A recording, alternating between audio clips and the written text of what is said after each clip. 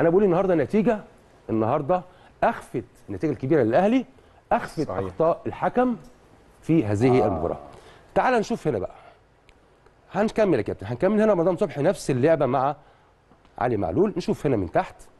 خلاص دي إحنا خلاص حفظنا يا كابتن بلال. هنا تاكلينج موجود وواخد الرجل. آه الرجل هنا ما عليتش الفرق ما بين اللعبة دي والثانيه كابتن عادل هنا الرجل. الرجل معلش. ولكن هنا الدخول بمهاجمة وهنا الإنذار يا كابتن شريف وجوبي.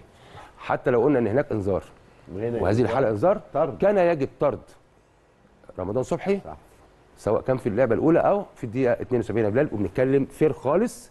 أخطاء واضحة جدا جدا النهارده للأسف.